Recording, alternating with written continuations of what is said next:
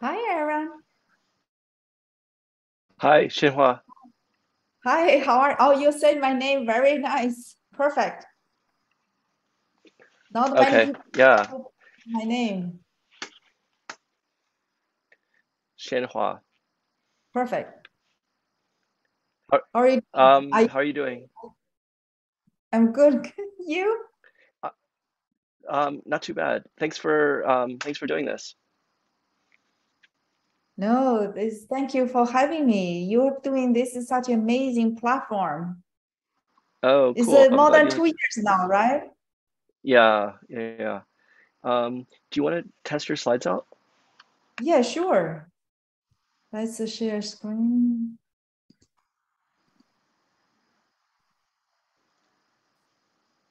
Looks uh, working. Good, great, thank you. Uh, no, I didn't. No, no, no, I didn't. I didn't see it. You, you You did not see it? Oh, sorry. Do you see now? Now I do. Yes, power Good, parvalbumin. Yes, good, good, good. good, great. Great. So you only recently moved to San Francisco?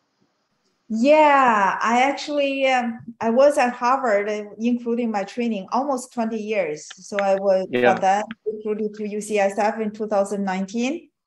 hmm Um, my my family is still in uh, in Boston area because my that time my daughter was in high school, need to finish high school. When she finished, she said she wants to go. She got into Harvard. She said, "I'm going to Harvard, not going to West Coast."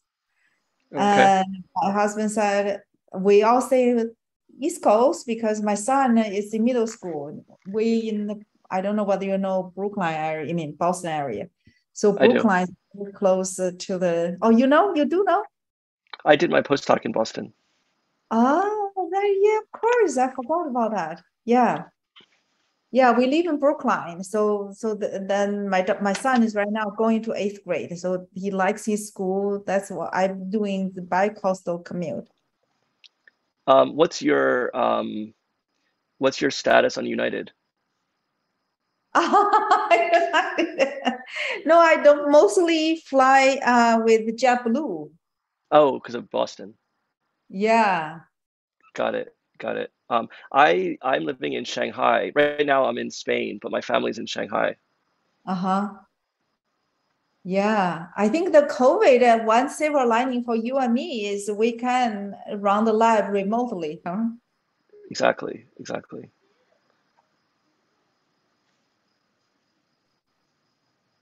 Oh, you must be very late in Spain. It's like a Yeah. past. Yeah. It's it's late. Hi, Gong. Hi, Ara. Good to see Hi, you. Xianhua. Hi, Gong. Great to see you. Hi, I should change my uh, background. That's is uh, for company. Let As me you wish. see what else is better. That's good. Maybe Yeah, this is better. I'm also in the hotel, so love Can- can beach. you- I haven't been to the beach for a while. Can you test your slides? Oh yeah, yes. Let me uh, share screen. All right. Okay. And let me uh, play. Is this good? Great. Perfect. Okay. So, uh, Xianhua, are you going first or I'm going first? Xianhua. Okay. Okay. All right. Okay. Then I, I I will stop sharing. All right. and then I'll say a li- I'll, s- I'll do a little bit of an introduction first. Thanks Okay. for um. So where where are you now? You're in uh Guangzhou. Um. Where where? Yeah, I should be in Guangzhou, but currently I'm uh, traveling in Suzhou. Yes, uh, Okay. I'm uh, having a, a couple meetings, and also our company is in Suzhou. I'm uh, Uh-huh. working with uh, my uh, uh, company team right now in Suzhou. Got it. My family's in Hainan right now. Hainan. Oh no, not in Sanya. Hopefully. Not not not in Sanya. Oh. Yeah, I was thinking of going to Hainan, you know, beach that uh, you Yeah, know, like to yeah, enjoy the beach, but unfortunately, yeah, that I hope uh, they can solve that uh, successfully this time. You mean the Uh, shutdown for COVID? Hi, Zilong. Yeah, Hi, Xiao. COVID uh, Hi, in Sanya is yeah, hi, causing a big problem for the tourists. I I, just um, read on- news today. Uh, Read news say like the CNN news say like all the people stuck there, thousands of them. They could they stuck there, the tourists. Yeah, 80,000 tourists in uh, Hainan. Uh, I hope uh, they can deal it uh, better. Zilong experienced in Shanghai. Zilong didn't So you? uh, w- I, I just come back from Yinchuan. I was uh, Oh. uh, having a vacation for a few days, a couple of days. Uh, uh, the desert, that's why. So, so luckily I didn't went to. Uh, I didn't go to uh, uh, Sanya for vacation. yeah. Getting stuck. Um,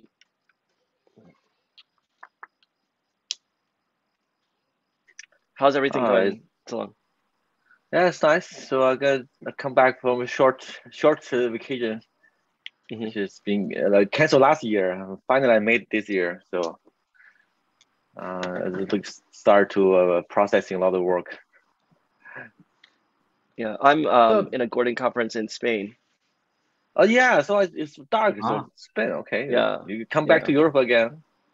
Yeah. Start to another round of uh, uh, tra- around the world in Yeah, eight days, maybe. yeah. I'll be back to Well- Shanghai in a few weeks. Oh, So I'm trying to get in as much travel as possible Sure. So, so where is it, Spain? in Barcelona. Oh, Barcelona. great. Great. Yeah. Great. I heard the Gaudi building was completed, isn't it?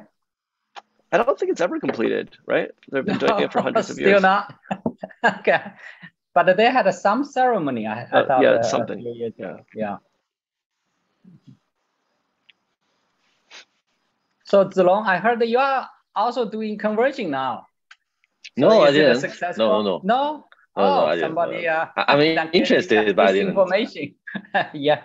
Uh, it was it was uh it was ages ago. So one friend of mine in Tongji, so Zheng Liang working on stem cell, you know. So one time he sure. he told me he told me some kind of gene. I forgot the name. It was about eight years ago, maybe. So I, I tried a few times. okay.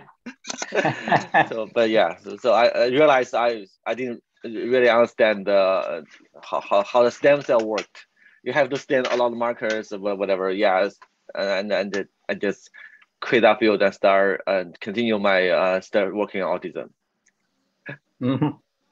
Yeah, Okay. there's there's a stem cell expert in Tongji, so uh, they are pretty much interested. Oh yeah. Yeah. Yeah. right.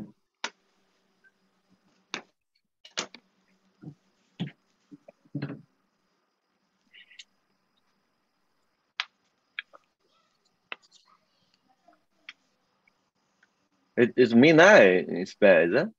Um, it's two. Oh, so it's Yeah. midnight. It's uh, six hours difference from China. Yeah. or- Mhm. Yeah, right, right. But Um, in some is a time zone is with with with, with G- G- Germany.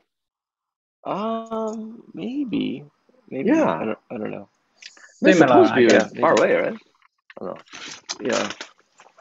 Europe isn't that large, actually. Yeah. Okay.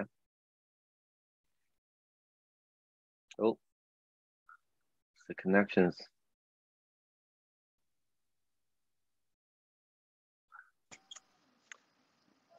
Okay.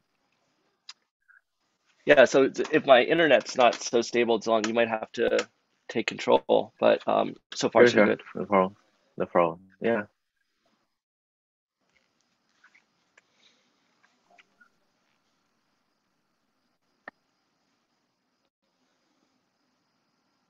Yeah, I should come back on September 9th.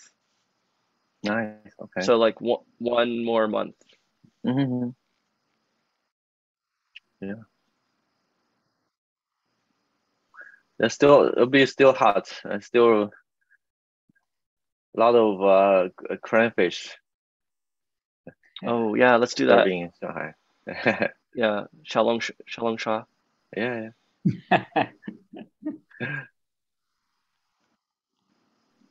Hi E. Hi. E.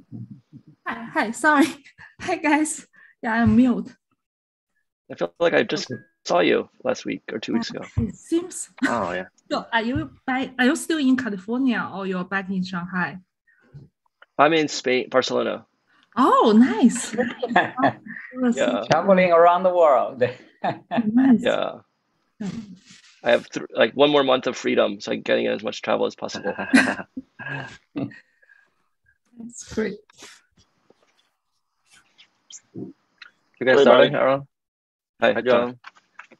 Yeah, yeah, yeah. See you. Um, great. Okay, yeah, we can get started. So, hi everyone. Uh, welcome to another week of NeuroZoom, uh, broadcasting from Barcelona, Spain today.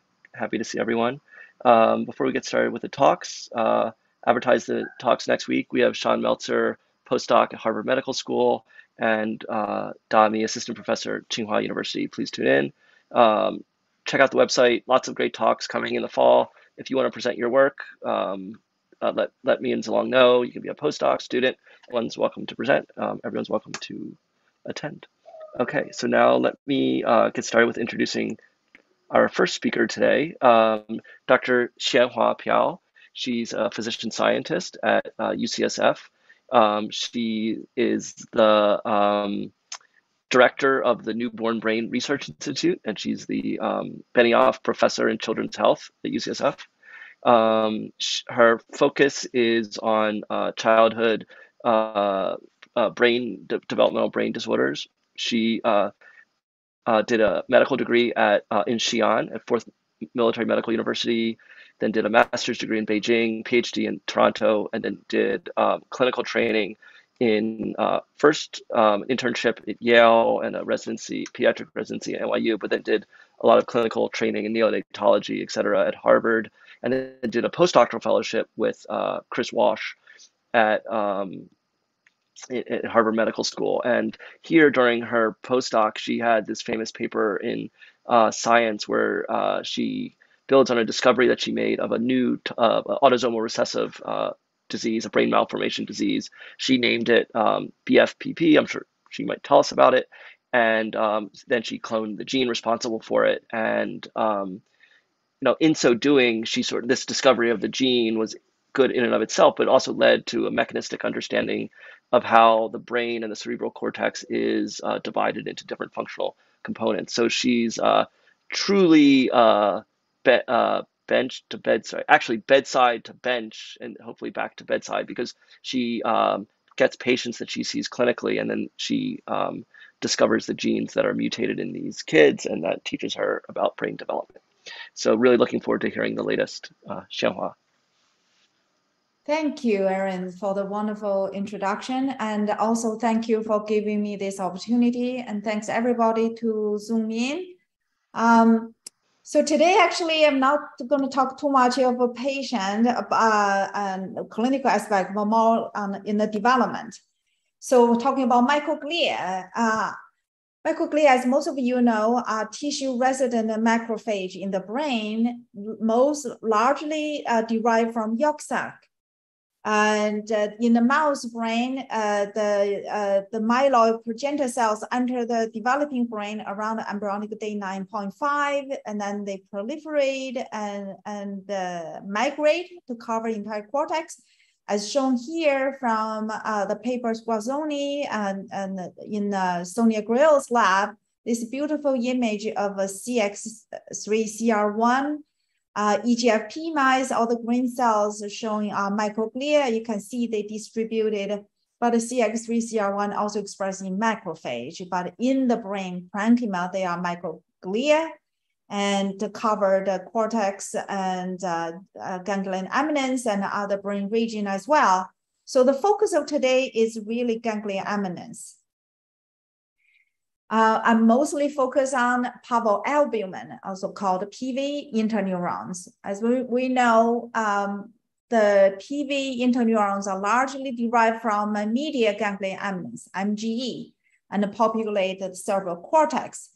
Deficit in PV interneurons leads to various neurodevelopmental disorders, including schizophrenia, autism spectrum disorders, and epilepsy.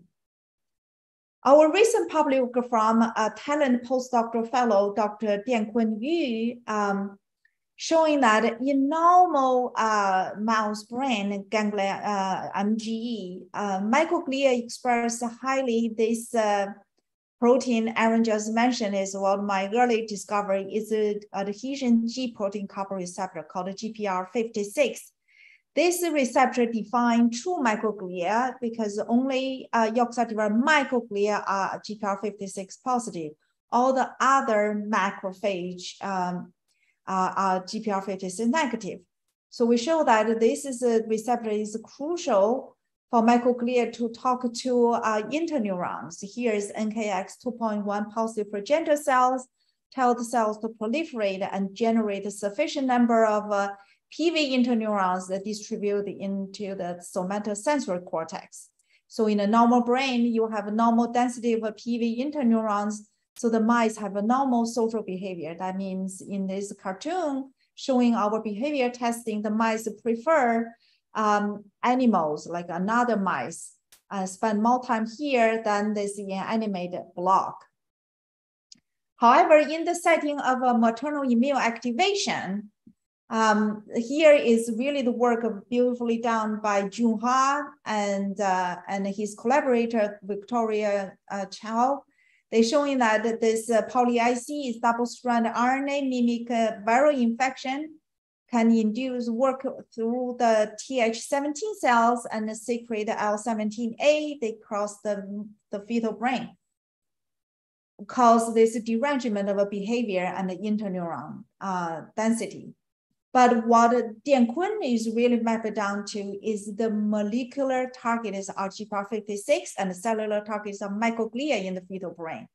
So the L17 downregulate the microglial GPR56 and then our conditional deletion of uh, GPR56 in microglia mimic this MIA uh, offspring brain.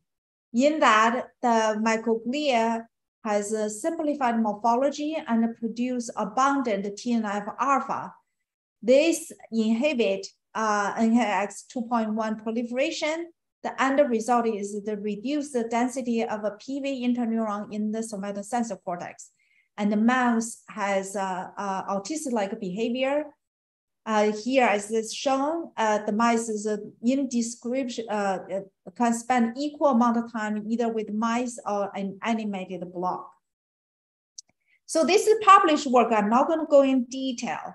So today I will spend the time to talk about our unpublished work to address the question, how do microglia regulate human interneuron development? So the, what we want to do first is what we want to perform single nuclear RNA-seq. So here is like a little snapshot of a beautiful paper from uh, Dr. Paredes in Science 2016. Uh, this when she was a postdoc in Arturo Alvarez Buylla's lab, and showing that in human brain, these interneurons, the migrate has this unique fashion here called arc. There is dense like uh, in the anterior horn of the lateral ventricle, then they disperse into the cortex. So this migration uh, lasts up to eight months of postnatal age uh, for full-term infant.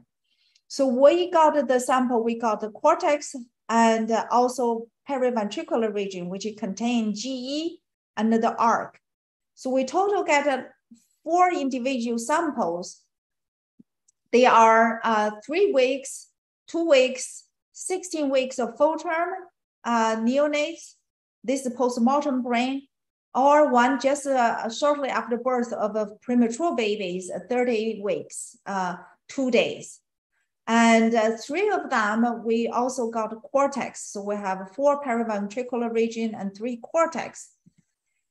As you, many of you know, uh, you have, if you have done a red uh, single cell or single nuclear RNA-seq, the single nuclear RNA-seq of the brain, the neurons are predominant uh, overrepresented. And on the other hand, glial cells are underrepresented.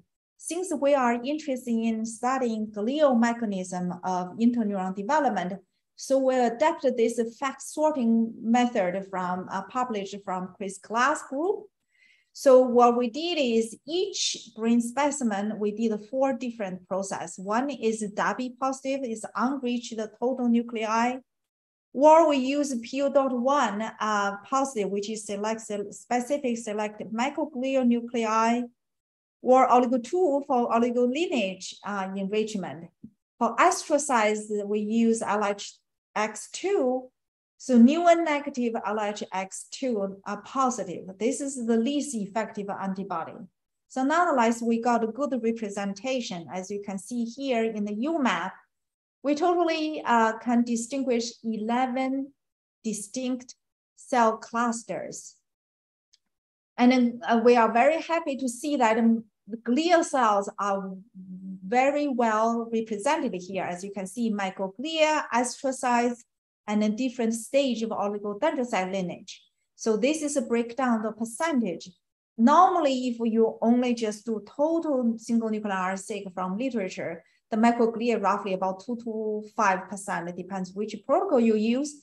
Here we got 20% of the total nuclei on microglia. So our first, uh, we want to study how glia regulate uh, interneuron development. So we use this uh, R uh, program uh, called the Cell Chat. It was published uh, in 2021 in Nature Communication.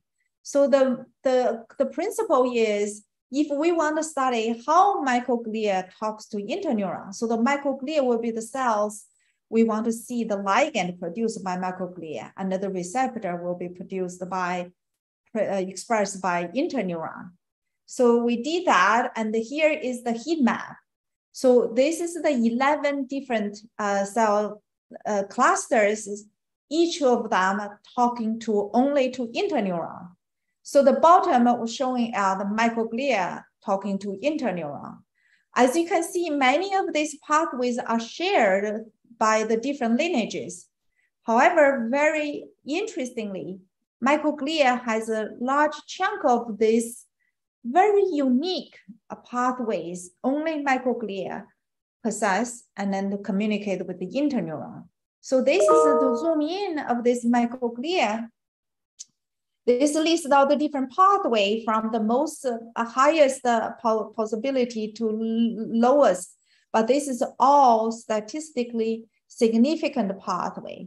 As you can see, the, the highest pathway is in, uh, in uh, insulin uh, like uh, growth factor 1, IGF-1 and IGF-1R. And this, the, the next one is SPP1, two integrins, and so on and so forth. So we want to uh, first to confirm indeed IGF-1 are expressed in the human microglia. Here is the 30 weeks gestation age of postmortem human brain. We did a double staining of IBA1 and IGF-1. As you can see, this is a zoom in image. Indeed, microglia express IGF-1. And then we did a pseudo analysis of the, the, the RNA uh, in this interneuron. So the left quadrant is showing the CGE interneuron and the right is uh, MG interneuron. And the peak is showing the red is the Ki67 is proliferating cells.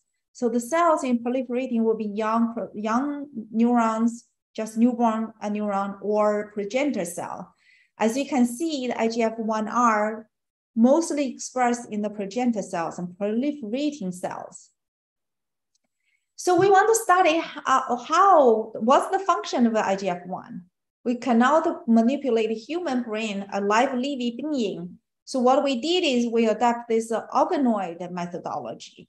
We use the protocol published by uh, Sergey Paskov and the natural protocol. So we generate the ventral uh, organoid. As you can see, to first to show we indeed establish the, the, the model properly. And, and here is a summary of the MG development in human. As you can see, the different transcription factor expressed at different time point. NKX 2.1 mostly in the progenitor cells and radioglia, on the other hand, LH6 is expressed in late uh, intermediate progenitor cells and mostly is MGE-derived neurons. Here you can show the image. We did a various uh, double triple immunostaining The first is five weeks old organoid. We did NKX 2.1 and SOX2 double immunostaining. The proliferating zone is represented the uh, ventricular zone is called ROSAC. As you can see, they mostly are SOX2 positive radioglial cells. And in the outer um, ventricular zone, um, of the become NKX 2.1, the green cells. Now, if we look at eight weeks old, and this is the one mostly expressed in the intermediate progenitor cells, ASCL1, here's green. Um, the green is LH6, ASCL1 is red. As you can see, by eight weeks old, we see a lot of LH6 and also ASCL1. So the final product is 16 weeks. The MG gave rise to mainly two types of uh, interneurons. One is somatostatin, here's SST, and then we indeed see it in 16 weeks old organoid, we see the SST positive cells.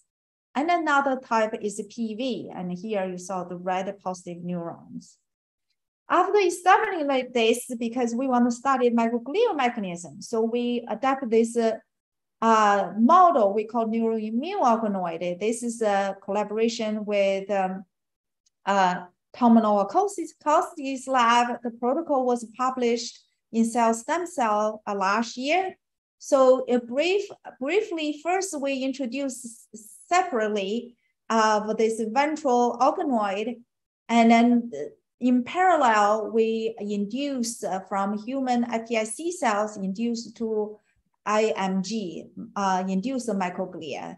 This protocol we adapted from uh, Matthew Blurton Jones uh, protocol. And at the four weeks old organoid, we transplant this IMG into the organoid and let them gather. As you can see here, this is two weeks after transplantation. So the organoid is six weeks old. You can see all the grains are IBA1 positive for microglia, and then they really start to ramify. This is zoom in microglia. So now we ask question whether this uh, organoid can, neuroimmune organoid can serve our purpose. So the first way we look at it is whether this IMG express IGF-1. Indeed, we did a double immunostaining IBA1 IGF-1. As you can see, most of these uh, IBA1 positive green cells are also red, mean they express IGF-1. We also um, uh, simultaneously perform the single cell RNA sequencing. Here is the UMAP. Uh, as you can see, the AF1 is the marker for microglia, and this small little cluster are microglia. Uh, you can see here is IGF-1 are on, only expressed uh, in the microglia in this, um, and it seems not every single microglia, but um, many of them are IGF-1 positive. So here is the experimental scheme. What we did is, so the first just showing this um, uh, neuroimmune organoid, and we transplanted four weeks later growing in for two more weeks. So in the last two days of these two weeks, we provide different treatment, like three different. One is just PPS, which is a carrier solution, or IGF-1, or IGF-1 neutralizing antibody. We treat them for 48 hours. So the last four hours of this 48 hour treatment, that we pulse the cell, the new uh, organoid with BRDU. We want to first evaluate the proliferation. As you can see here, uh, this is the PBS control. As you can see, the left organoid are without the microglia and the right is with the microglia. Microglia here right uh, is in uh, white. And the BRDU labeled are green and NKX 2.1 are red cells. In the absence of microglia, we see some BRDU positive and then some, most of them are NKX 2.1 positive as well.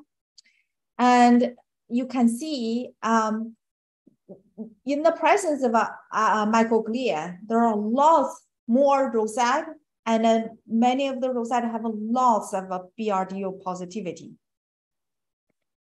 So next is we treat with uh, IGF-1. So this is in the presence of IGF-1. At first, I want to draw your attention to this left organoid that's without microglia. And if you recall earlier, without microglia, we see very little um, BRDO positive cells. And here you see a lot, and you really start to see very big and nice rosettes. Interestingly, when in the presence of a microglia, addition of IGF-1 didn't change too much. Um, so there seems in the comparable uh, uh, to the left organoid now. So the third experiment, what we did is um, uh, we use the neutralizing antibody. So again, here is the left is the organoid without the microglia, right is the organoid with the microglia. So we know without the microglia with very little uh, BRDO positivity. But uh, if you recall, when we uh, add um, microglia, we see a lot of green. However, when we, in the presence of IGF-1 uh, neutralizing antibody, we hardly see any uh, proliferating um, cells. And here, just to recap what I've shown you, and this is the image of, but here is the statistical quantification. As you can see here, when we just in the presence of PBS, the microglia significantly um, promote the, the cell proliferation. However, the, this additional IGF-1 does not have a further effect. In other words, with with when we have a microglia, with without microglia, this there's no difference. But however, this both of them are significantly higher than the PBS without microglia. And lastly is the with neutralizing IGF-1 antibody, uh, we can see are significantly reduced. So this is just a, um, a quick uh, um, summary of what have we done. It's, uh, it's still in the early stage of, uh, of our study. There is so many unanswered questions. For example, first, like I mentioned, we our also our recent publication that's in the mouse model, we definitively demonstrated how um, maternal immune activation uh, elevated IL-17A and then downregulate microglial TPR56, which in turn produce TNF-alpha inhibit MGE proliferation. So how about what is maternal immune activation effect on the IGF-1 positive microglia? The next uh, question could be, not all IGF, uh, microglia are IGF-1 positive. Um, so are there um, the like a, a, spatial distribution of IGF-1? But there's another question flash in here is what are the functions of other pathways we identified in the study? Like I showed, I can just bring you back again the earlier slides. And I think we particularly interesting is how about SPP1 and integrin pathway there's some other interesting pathway as well. So with that, uh, I will want to thank the people who have done the work. So there's many people contributed, but uh, mostly for the work I present today are the three uh, talented postdoc fellows. One is Diangun Yu and Samhita Jain, who is a neonatology in training. She particularly interested in the maternal immune activation and how that uh, negatively impacted uh, brain development. And Andy Wang Zhou, who is a bioinformatic person who did all the analysis of RNA-seq. With that, this is my new lab uh, at UCSF, and this is a funding source and collaborators. I specifically thank for this work, um, today presented work, uh, support uh, collaboration with Galina Popova was a postdoc in Tom Nowakowski's lab. With that, I would like to um, open this uh, paper for discussion. Thanks uh, so much, Xianhua. Awesome talk. I'm glad we were able to get you to California from Boston. And now we can open for questions.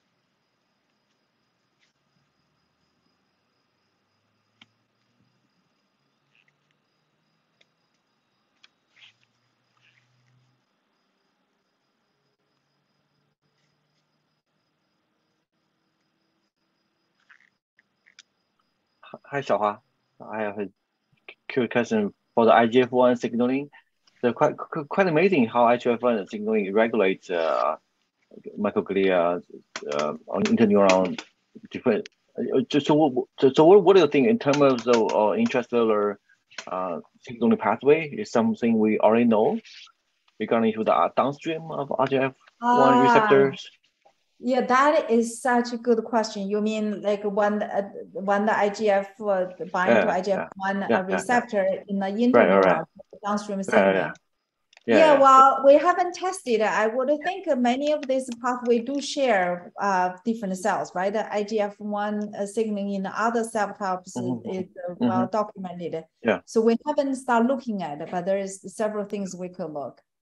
That's Okay. Um. Well, We. Yeah, a few things you, you might already know. So in terms of the uh, subtype or uh, how, how the IGF-1 regulates it, uh, overall maturation or some differential particular uh, like cell surface uh, ion channels in terms of development of interneuron, do you know?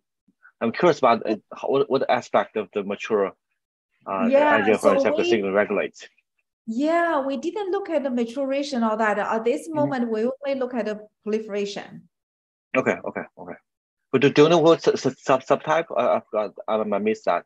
So you may may Oh, so here is we only just look at the NKX two point one, so that Okay, will okay, be okay. the, Oh, the, the MGE derived, MGE progenitor Yeah. cell. so which means that is for the still will produce all kinds of a PV, SST, right? Uh, right, yes. Yeah, there's all kinds of. Uh, we are interested in particular maybe development of probably neuron. that's a good question. So I think uh, Yeah. we, we, we're gonna grow the organoid lot for the four months old that Okay. we can see, um, they will become uh, either PV or ST positive. So, so from the mouse model seems that all this uh, microglia interneuron talk is to affect uh, Uh-huh, only uh, PV, but it's yeah, interesting yeah. whether it's in affect PV or also affect SST. Very good Great, great. question.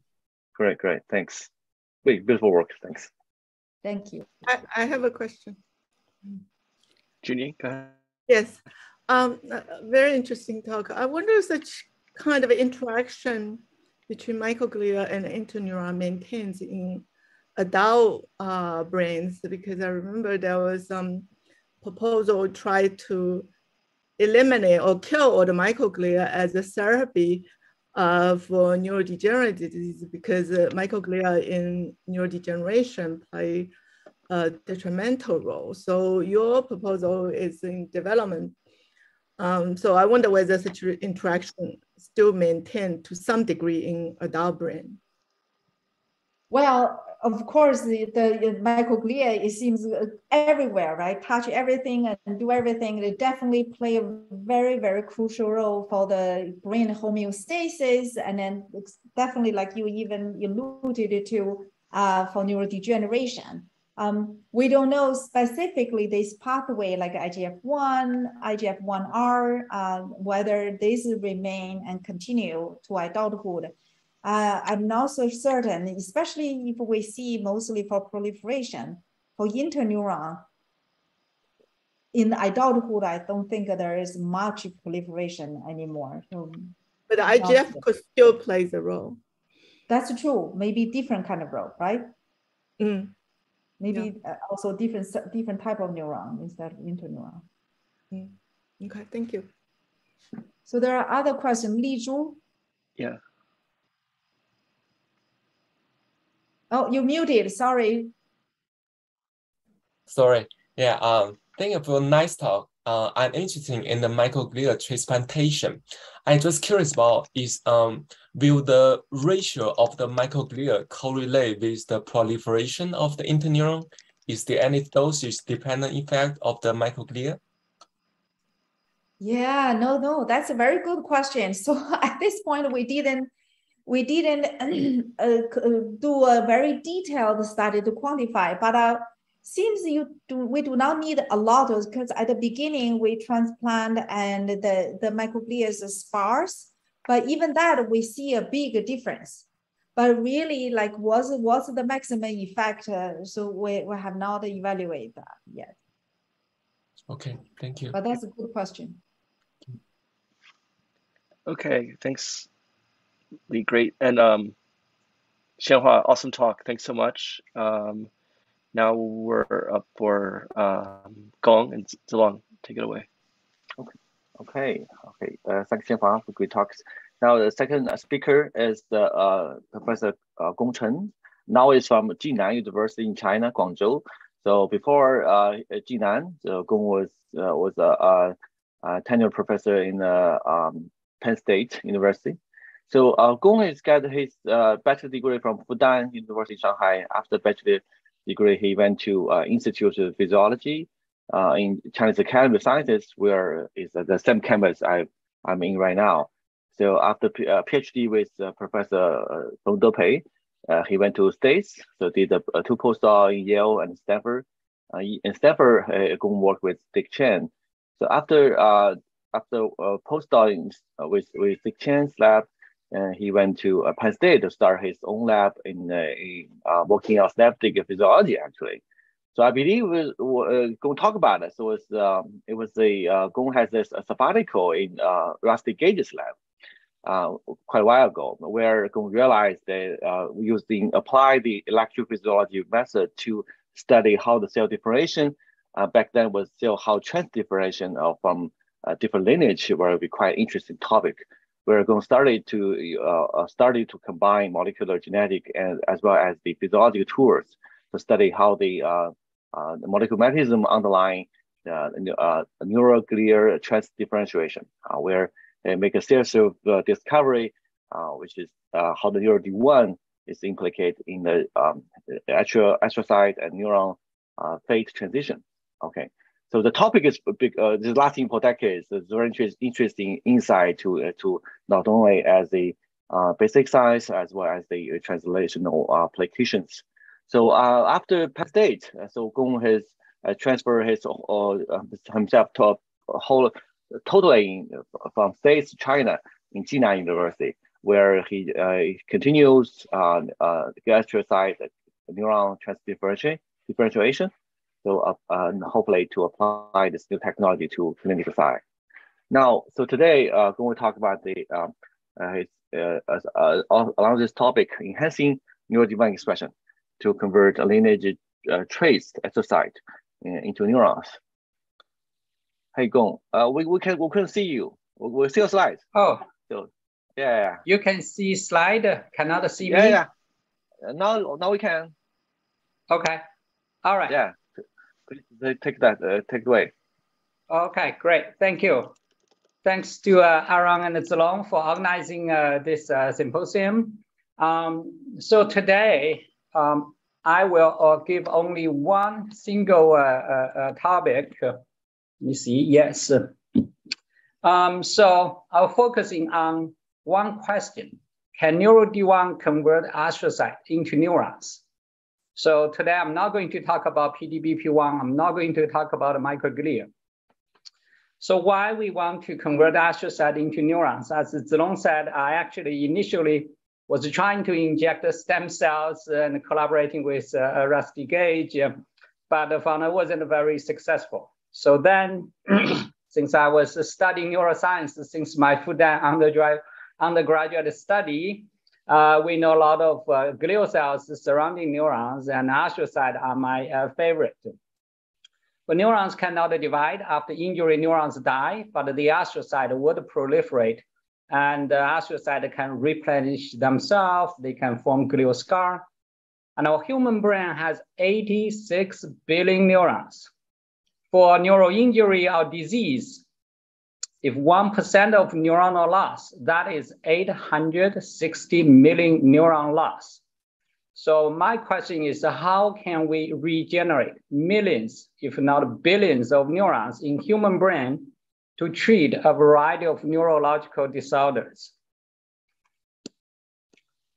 So many labs of the past decade, uh, they have repeatedly demonstrated astrocyte to neuron conversion using a variety of neurotranscription factors. So I'm not going to uh, uh, to uh, name all of them, but I did list some of them, including NeuroD1. So basically, every lab found that neurotranscription factor expressed in astrocyte or in other cells, uh, NG2 cells, for example, uh, they would change the transcriptome from a glial transcriptome to neuronal transcriptome and change glial cells first to immature neurons and then mature neurons.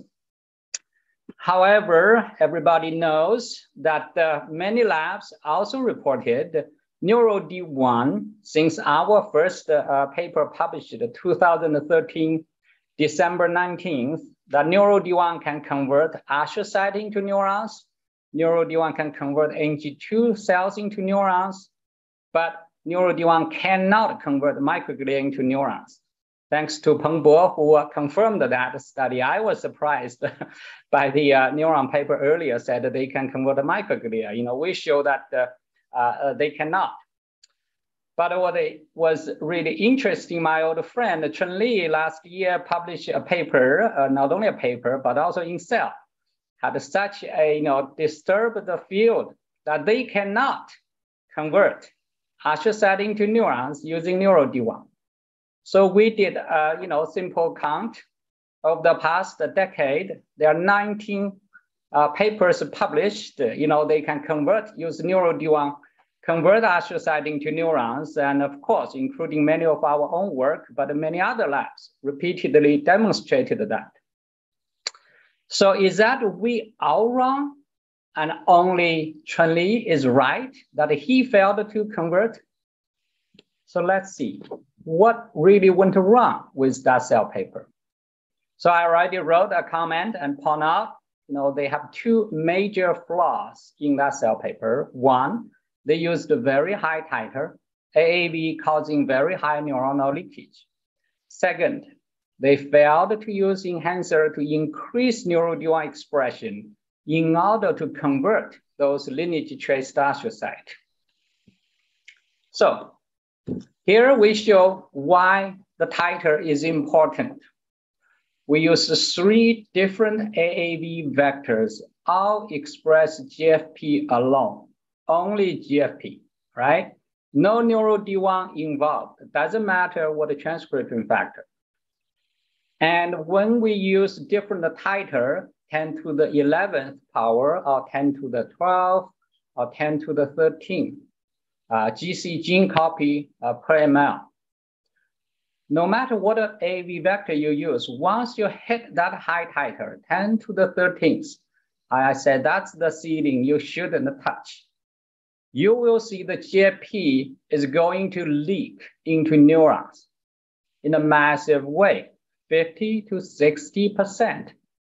So my recommendation to the whole field, don't use that high AAV titer 10 to the 13th.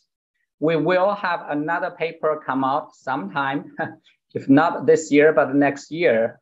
That high titer causes a, a lot of damage to brain tissue.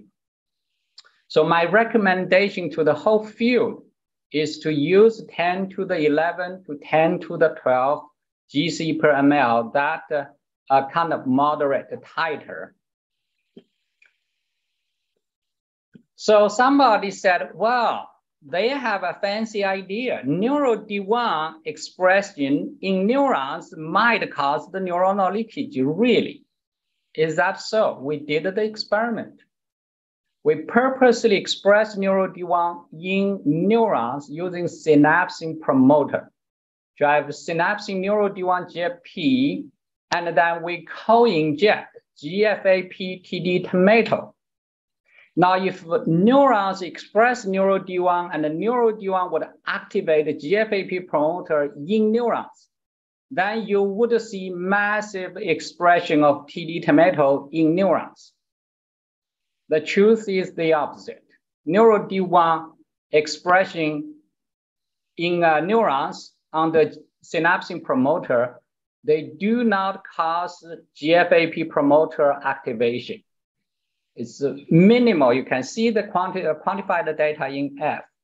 It's less than 10% of the neurons would express that TD tomato. So NeuroD1 itself does not cause leakage. NeuroD1 itself does not activate GFAP promoter. So does NeuroD1 really matters, you know, using what viral vectors? It doesn't. whether you use retrovirus to express NeuroD1, whether you use AAV to express NeuroD1, whether you use lentivirus to express NeuroD1, they can all convert astrocyte into neurons, no problem. So it's not any virus dependent. What it is dependent is the NeuroD1 dose. We use GFAP, GFP to label astrocyte, okay? So essentially the GFAP, GFP, AAV infected astrocyte will express GFP, simple. Then you add a different dose of NeuroD1. What we see when you add more NeuroD1, then those GFAP, GFP labeled astrocyte will gradually be converted into neurons. The more NeuroD1 you add, the more neurons being converted. And somebody has a fancy idea. So, well, your NeuroD1 is competing the GFP, you cause the GFP uh, signal lose. It doesn't. So we did this experiment. We use GFAP, GFP to label the astrocyte as green, and then we add the NeuroD1, or we add a flipped NeuroD1. The flipped NeuroD1 cannot convert astrocyte into neurons. But the GFAP, GFP is always there. The infected astrocyte is beautiful as shown in this bottom uh, uh, row in panel B. And we have quantified the data showing that NeuroD1 can successfully convert astrocyte, those GFAP, GFP labeled astrocyte into neurons, but the flipped NeuroD1 cannot convert astrocyte into neuron. And those astrocytes express GFP no problem. It cannot be competed by those of flipped NeuroD1. So importantly, uh, almost 10 years ago now, we show that the astrocyte conversion to neuron induced by NeuroD1 is a direct transdifferentiation. There is no neural stem cell stage. We don't find a SOX2, no nesting, no other uh, stem cell marker. It is a direct transdifferentiation. And we have shown repeatedly there is an intermediate state in between astrocyte and the neurons. It is a must be a stage, right? We'll convert astrocyte into neurons. They gotta have some intermediate state. What we show here is that when astrocyte converting to neurons, this is Jiajun Zheng's uh, paper published last year, then we can see a lot of those NeuroD1 expressing astrocyte. They have not lose astrocytic markers such as SOX9, such as GFAP, but in the meanwhile, they already acquired neuronal markers such as NEON. And such coexistence of neuronal marker and astrocytic marker, they were very, very rare in our brain in normal state. This is only happening in the early stage during astrocyte to neuron conversion. So now comes to this critical evidence. Everybody said, oh, Dr. Chen, you should do this lineage traced uh, system, you know, showing lineage traced astrocyte. We did it. Can we use this ALDH1 CREAT2 mice cross with AI14, give tamoxifen, and all these TD tomato labeled cells under normal condition, they are astrocyte. No doubt they're GFAP positive. You know, you see this top row A and C. The TD tomato label astrocyte, perfect. Now we inject a NeuroD1 and the difference between us and Chun Li and Beverly Davidson and perhaps many others is we used an enhancer. We initially also see weak promoter couldn't convert those TD tomato labeled astrocyte, but we quickly design our vector using enhancer, enhance NeuroD1 expression, and we can successfully convert those TD tomato labeled astrocyte into TD tomato labeled neurons. Now in those TD tomato labeled neurons, there's no astrocyte there. Very clear lineage trace astrocyte can be converted into neurons after you enhance NeuroD1 expression. Hey, Gong, I have so a quick question. Somebody, so sorry. Somebody hey, start Gong, to, sorry. yeah. Yeah. Sorry, I have a quick question. Come, come back to last slide. So where did you put the enhancer in the in the NeuroD1 expression vector? Yes. Dependent vector. Of course. So how, Uh, how, no, how no Cree. So No Cree, no Cree, no, no, no. This is GFAP. So here show you GFAP promoter and CME enhancer together drive neural D1 expression. No Cree, okay? But wait a minute, I, I saw you. What, what you should do is the uh, you're putting a Cree dependent in your D1. in- No inject Cree. to the. Yeah, yeah, but, but I, Zilong, I saw. Let's stop here. No Cree. This is a GFAP promoter driven neural D1, okay? Okay, I got it. But my point is, what you should do, everybody was asking about, is what you do here is in, you should inject the AAV Cree dependent ALD1 into the ALDH1 L1. Don't tell me what to do, ART2, Zilong. Right? Don't Because tell me you what to do. Now, now you Zilong, can prove. You, you inject the No. your device into the glia and you, you transfer into neuron, right? no, no, no, that's wrong. This is that's a all about us. GFAP promoter directly understand. neural D1. Yeah, yeah. I I understand what you what you say. Let's, uh, I- let's discuss afterwards. Zilong, Okay, okay, let's sure, discuss afterwards, okay? This is GFAP driven neural D1, directly express neural D1 in the astrocyte, convert the lineage trace astrocyte into neurons, okay? Let's see control. I got it. Okay, go, Let's go ahead. do the GFAP GFP control experiment. Okay. GFAP GFP without neural D1 in this lineage traced astrocyte, they of course infect the astrocyte. That's true, but there's one strange thing happening. When we express GFAP GFP in the TD tomato labeled astrocyte, at 30 days, at 90 days, we see a very strange phenomenon. Many TD tomato labeled astrocyte lose GFP. Isn't that bizarre? Normally, we always see GFAP, GFP infected astrocyte. In normal mice, wild type mice, they would continually express GFP. But in this lineage traced astrocyte, they lose GFP. What the hell is happening here?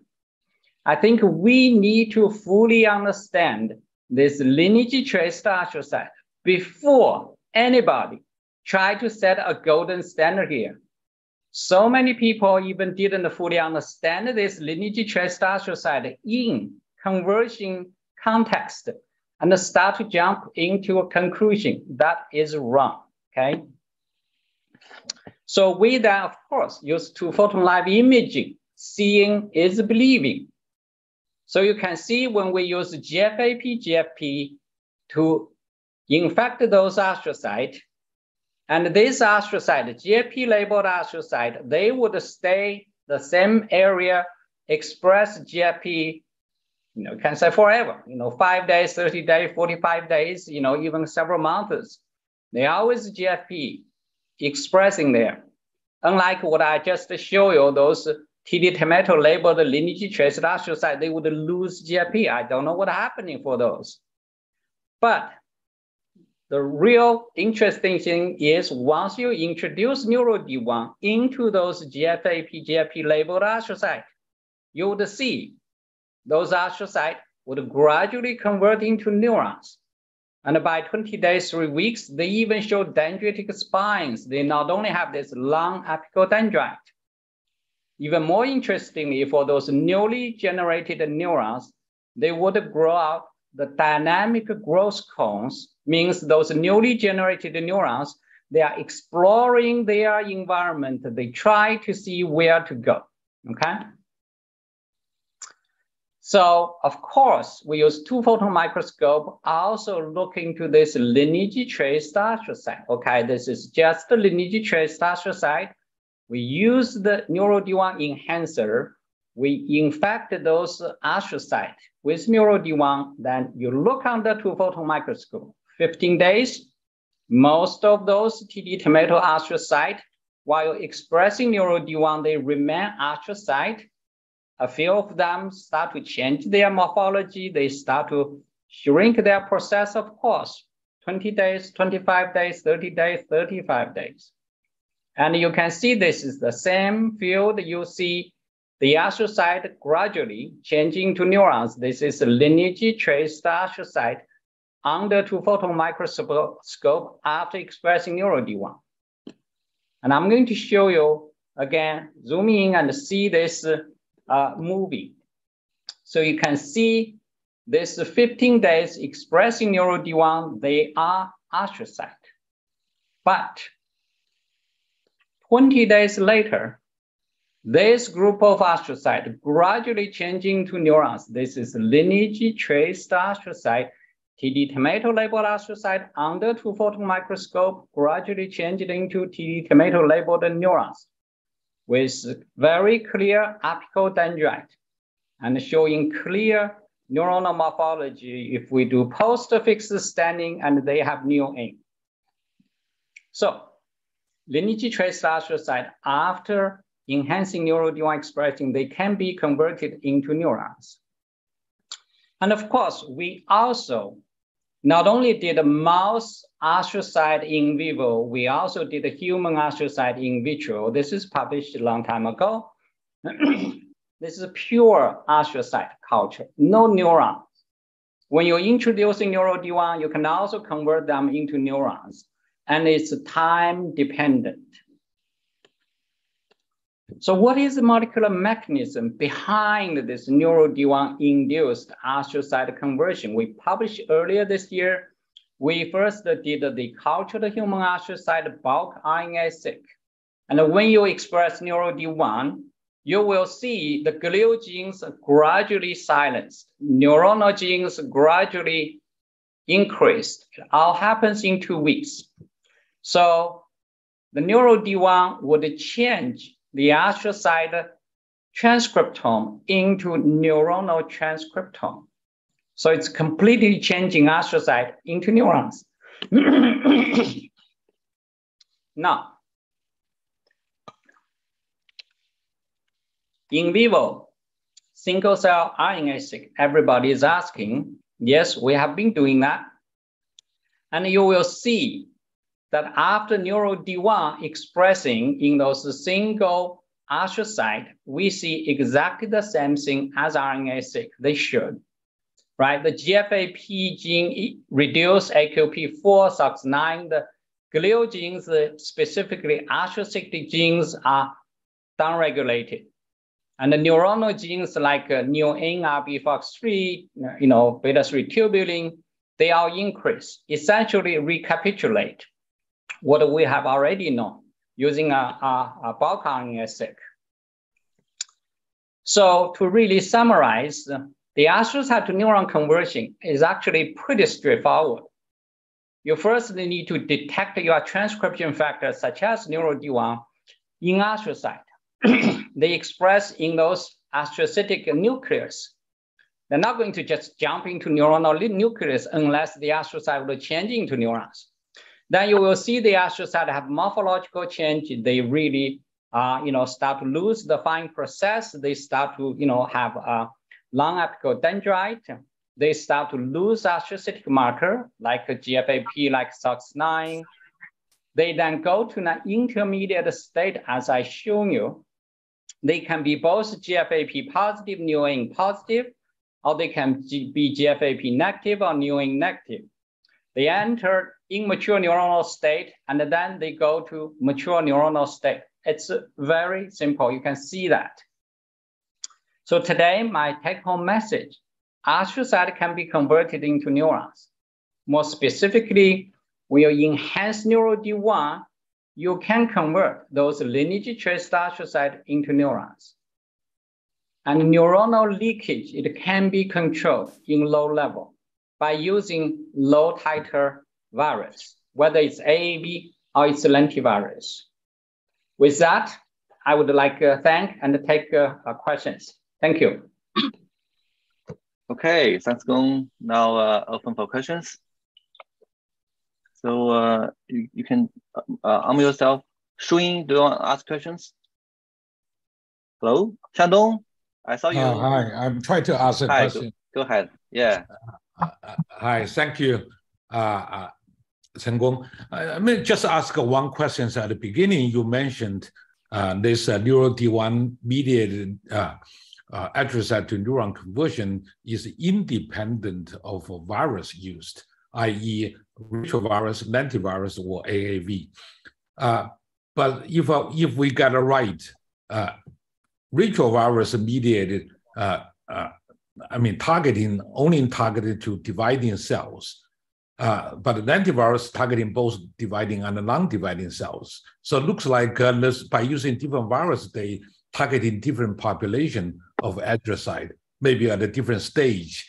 Can you please comment on that with regard to efficiency or, uh, uh, I mean, the, or different cells? Yeah, yeah Xiangdong, of course, you know, what I meant is that uh, neural D1 conversion of astrocyte is irrelevant of what a virus you use. But actually, when you use the virus itself, of course, the conversion efficiency could be different. The conversion time could be different. You know, of course, a different virus would, you know, have a, you know, many different profile. Yes, you are absolutely right.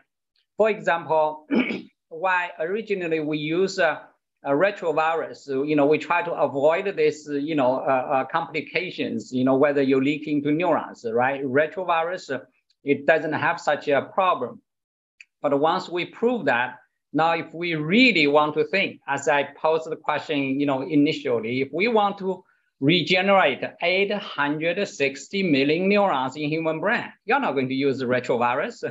Any single point you inject, you can only infect a very limited number of glial cells that are dividing. So that's not enough for patient. That's why we use AAV, right? And AAV really infect more uh, uh, astrocyte uh, than the uh, retrovirus. So that's really for different purpose, you would use a different virus. But my point is whether you use you know, different viral vector to deliver neural D1, the neural D1 can always convert astrocyte into neurons. All right. Uh, uh, another question I have, you and I have been discussed extensively uh, uh in private settings, but I'm still puzzled by the mechanism behind this high titer virus induced uh, toxicity or neuronal leakage.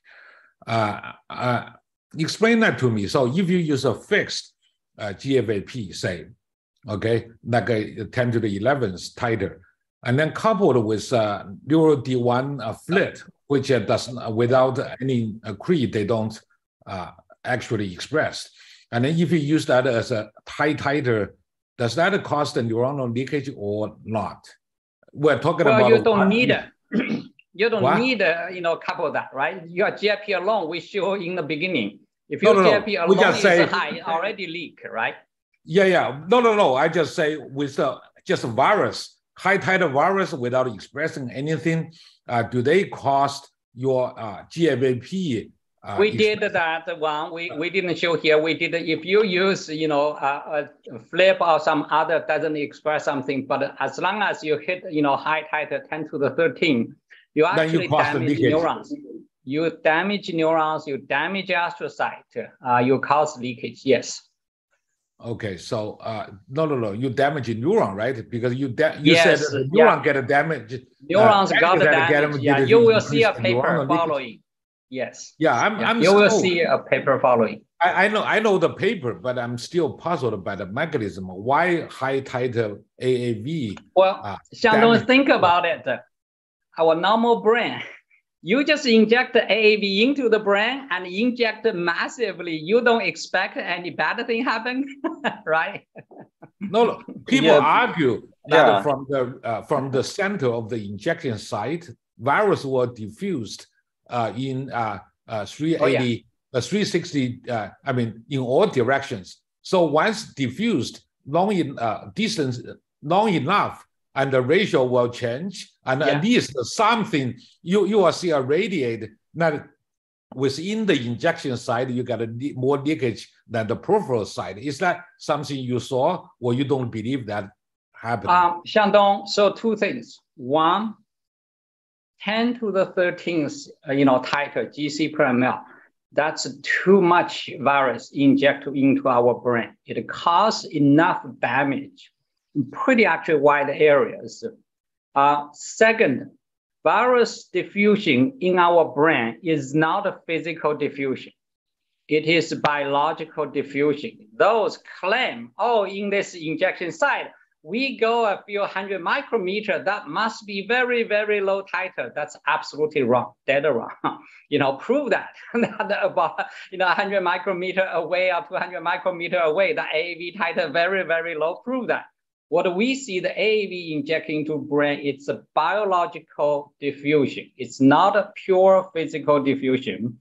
And we believe that we see this AAV uh, uh, diffusion inside the brain, at least the first is uh, the blood vessel related. Second, nerve fiber related. Okay, so it does is not purely uh, a physical diffusion. I see. Okay, is somebody else ask, but I'm, I'm I say yeah, I, I love you to Thank be you, correct. Yeah, but I'm testing that ourselves, actually, different titer as you recommended. Just convince Yeah. ourselves that's indeed a reproducible I phenomenon.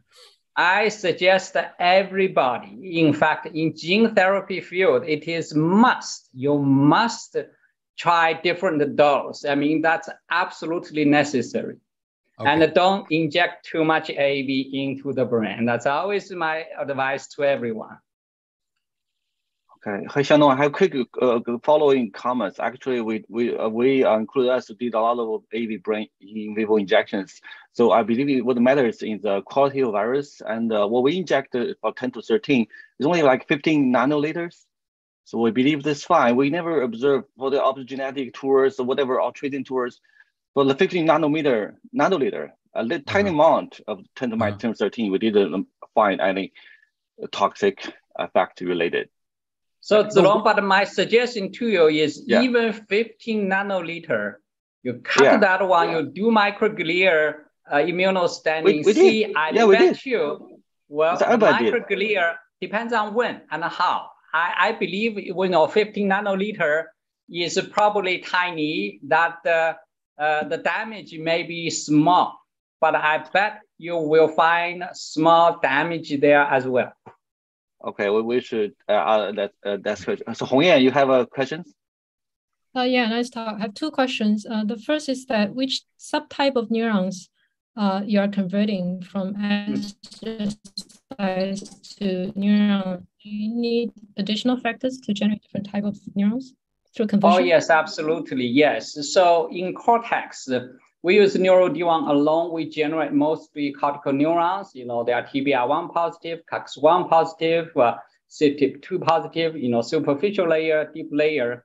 But uh, for striatum, then we add DLX2 to generate the GABAergic neurons. You know, in spinal cord, then we use the spinal cord, you know, transcription factor to generate the motor neurons in the spinal cord. So depends on in retina, we're now doing retina, uh, I saw Bolton there, and we do a retina neuro D1, you know, uh, other transcription factor, different transcription factor would convert the Mueller glia into different type of neurons.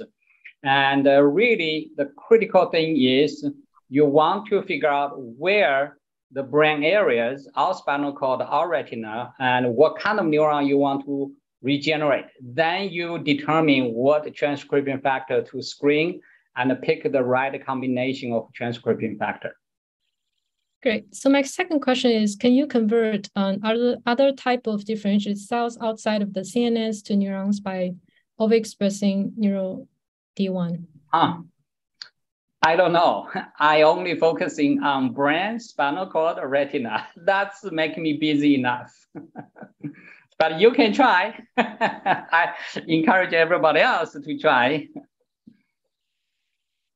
Okay, Bo, Uh, you have yeah, questions? thank you. Please. Uh, very, very interesting talk uh, and uh, good to know you're also uh, testing uh, Neuro D1 um, uh, in the retina. And uh, we, we work in the retina, uh, uh, reprogramming uh, glial cells in the retina. And uh, we're trying to find uh, very prominent reprogramming factors such as Neuro D1 uh, in reprogramming glial cells in retina. Actually, we have tried a list of uh, uh, uh, potent factor, including Neuro D1, and we use uh, GFAV, GFAP, driving the expression of uh, these reprogramming factors, uh, Neuro D1, ASK1, MAS5, Neurogenital, you name it. And, and interestingly, we found um, uh, in terms of leakage, uh, these different factors have different level of leakage. Uh, although you know we maintain the titer exactly same uh, to control the titer, and the neural D1 seems to have the most massive leakage. Uh, and when we do the uh, AVGFP uh, neural D1, and we see a lot of inner neurons being, uh, being targeted, uh, including ganglion cells uh, and amacrine cells.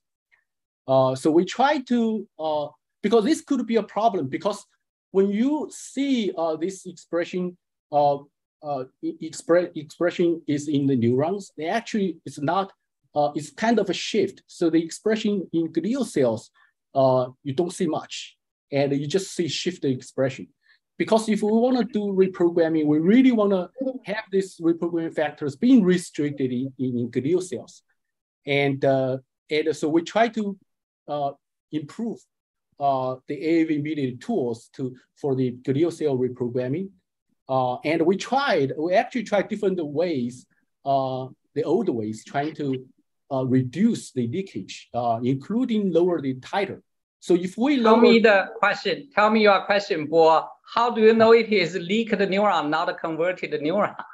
How do you differentiate that the converted neuron versus leaked neuron? How, tell me, how do you know it's leakage? It's not conversion. Yeah, so uh, we can use, uh, because we cannot, so if this is direct conversion, uh, that is not uh, involving uh, cell proliferation. So basically, the BRDU, uh, EDU, they cannot work, right? So if the direct conversion is uh, proliferation not involved, so we pre pre-labeled all the Mueller cells uh, with glass the ER, ERT2. Uh, these are uh, you are again having the Krlox-P recombination, and you are again having and, uh, this weird things like our LDH1 CREAT2 astrocyte. Is that right? Uh, yeah, so. Do you know they are behaving the same as normal Mueller glia? Did you uh, test that? Yeah, we did, we did. And uh, uh, we, we still uh, see those are uh, normal Mueller cells that are processes.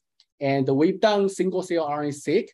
And it looks like these Mueller cells are largely maintained as, as their Mueller uh, cells morphology-wise and transcriptome-wise. Do me a favor, Bo. Do me -hmm. a mm-hmm. favor just express GFAP, GFP in your glass the, uh, ER and uh, see whether the GFP is going to be lost in some of the Mueller glia, like what I have shown you here. Yeah. All right, so those Krlox recombinated glial cells, their properties changed. They are created for lineage tracing purpose. They are not created for conversion purpose. So when we talk about conversion, you have to be careful, okay? So those CRE-ER recombination is changing the glial properties. And I so far did 10 years, I have not been able to name one single marker that can tell you this is a leaked neuron. This is not a converted neuron. I cannot.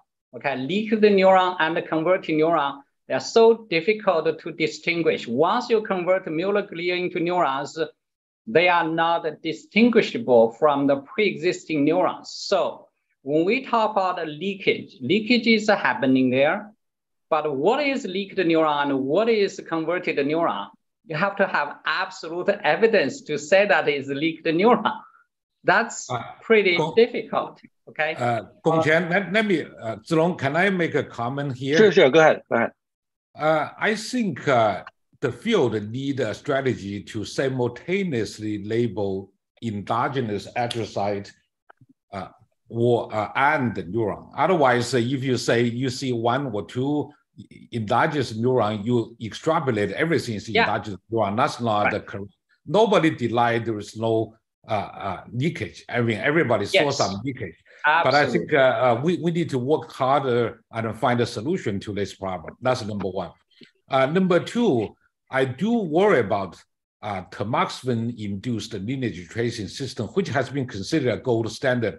Gong, uh, Gong Chen want to uh, uh, uh emphasize uh, there's no gold standard. But anyway, I wouldn't go that far, but I feel we need to consider that the tamoxifen-induced recombination uh, because the potential toxicity. This has been demonstrated since the beginning of a KRAS system. Once you make a cleavage in the genome, even once, it will cause a rapid DNA damage response that basically frozen the cell at a state that cannot be converted to anything. Uh, just stay there. Uh, and we currently don't know how long it takes for cell to recover and then reprogram. Uh, I think uh, Gongchen provides some evidence for that, that in order to see that, you need to wait for somewhere between 60 days all the way to 130 days. Uh, but nobody determined what's the optimal days. So, so in the other word, most people monitor the conversion in one month. I do not believe one month is uh, is long enough to see any conversion. So in my mind, uh, doesn't matter you use a neural D1 SOX2 or anything else. If you can, if you claim you convert non-neuronal cell to neuron in one month, I think most likely it would be an artifact. Uh, that's my opinion. No, no, no, no, no, Xiangdong, you cannot make that arbitrary uh, uh, uh, judgment. See our cell stem cell paper. when you use retrovirus neural D1, it actually can convert those astrocytes in one week into the new N positive neurons. Okay, so that's published. You know, so no, no, you nobody do that in vitro. because I never see anything in vivo. can do that fast. In, in vivo. vivo. No, no, no. Maybe PDBP1 is not that fast. The Neuro D1 can. Okay. Yeah, I'm, but I'm not. I'm skeptical though. Yeah. All right. So, Perfect. so okay. move to the, uh, yeah, yeah we, I think we moved uh, we, we actually have done the experiment yeah, you, you, you, you just talked about. Uh, so they just express in uh, uh, GFP, like GFAP, GFP, uh, in, in those uh, uh, fate mapped uh, lineage trace neural cells. Uh, and uh, we, we, we can just uh, see, we don't see decreased expression at all. Uh, That's good. Show me the data. Yeah, right. I, yeah, I can. I can. That's yeah, good. Show me yeah. the data. Uh, we actually and how, have. A, how do you know the neural D1 expression is not conversion? We're actually having a paper will be published soon. Neural D1 do convert Muller glia. I don't know why. Again, you uh, cannot. We, we have we a can. we have a paper under revision right now. So, That's a fine. Yeah. So uh, neural D1 is, will be one of the soon. factors we tested. Uh, okay. Uh, the, the paper is uh, is developing AAV tools, but we we pick uh, several prominent reprogramming factors, including neural That's D1. fine. That's yeah. fine. And, and I can uh, tell you one more a, thing. I have another evidence, uh, independent of uh, uh, uh of the clean uh, depend uh, the, lineage tracing. We can pre-label the endogenous ganglion cells, amikron cells with one color, and then we, we see the, the this this leakage is actually pre-existing already in the pre-existing old neurons. So we don't see indication of conversion. Or leakage oh. is always all right. The question is I think it's okay. Much... Yeah, just uh, we should uh, debate is good, right? We, we just uh, kind of uh, yeah. We, yes. When paper come out, we can set another discussion. Yeah. to to further exactly. see what's going. Yeah, okay. Chen, Chen Gong, uh, I have a question I haven't asked because I never done brain, so it's so so fascinating about brain. Have you done experiments uh, like using neural D1 GFP uh, with the uh, TD tomato linear tracing. So you have two color overlap. That's an extra layer of uh, stringency.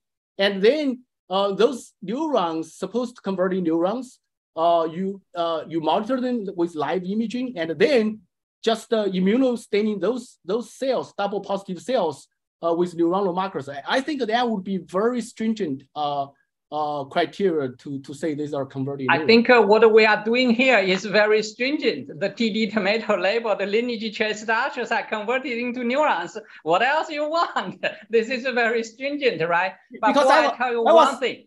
I, I was looking at tell the... you one thing.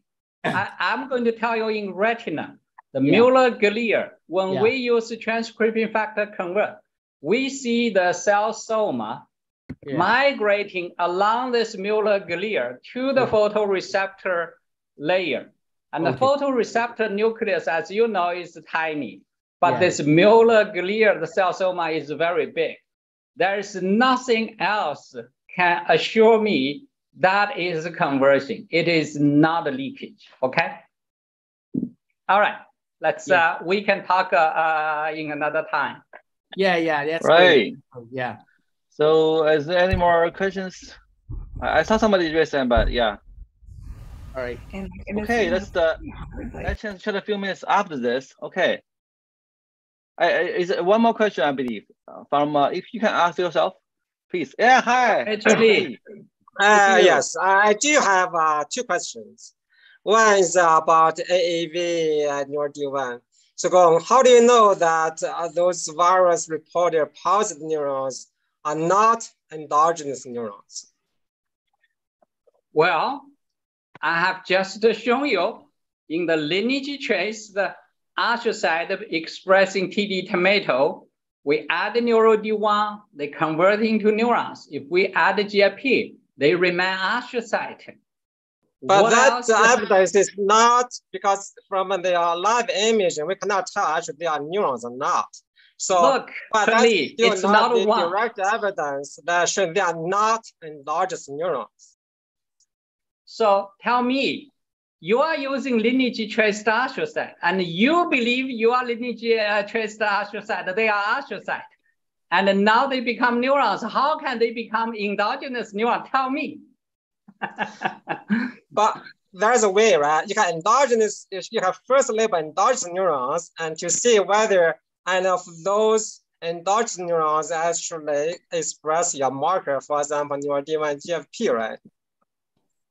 So, Chun-Li, in your cell paper, you show very clear. When you give neuro D1, your conversion efficiency figure 1b is almost you know, 95% or more.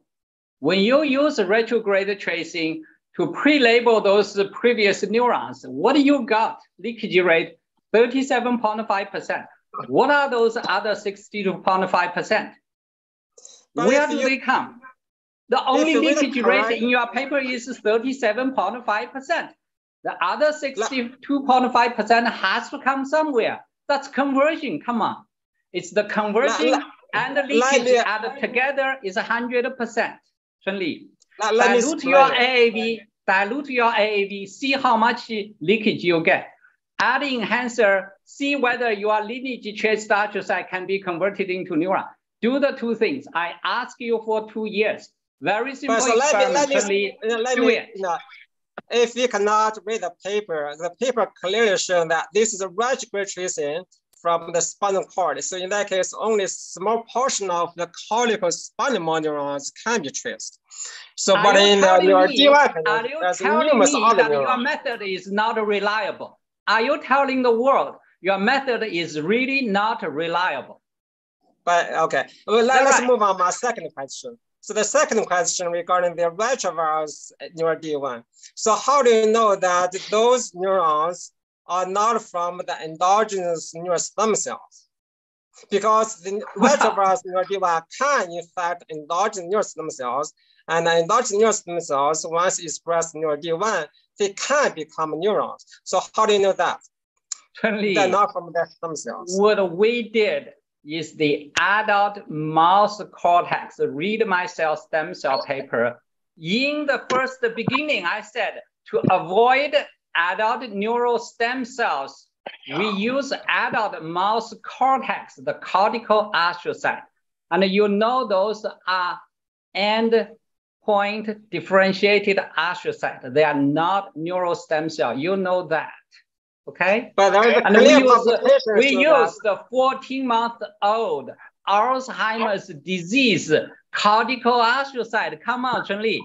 Do you believe Okay, those are not case. I do stem not want cells? to, I, I do not want to argue in front of everybody. Okay, let's uh, let me stop. Okay, uh, so I yeah I think it's uh, okay. So everybody, so I I- I'm I'm sorry to I have to go to work. Okay, uh, a few minutes. Uh, I think we should more more debate is good, right? Uh, we should, we should It is great, this yes.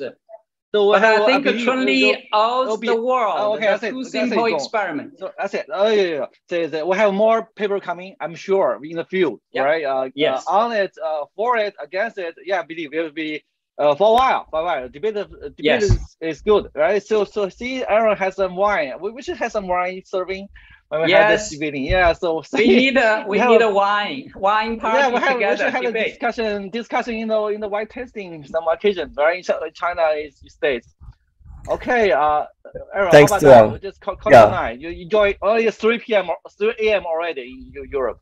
I have, Aaron I have, should take- I have a very nice swimming pool. I'm about to go jump in and calm down, but it was good chatting science with everyone. See everyone Have next some week. wine. Have, some- have a good sleep. Yes. Yeah. Uh, All right. Thank you everybody for coming. So see you all next week. Okay. All right. Thank you very much. Right. All right. No, no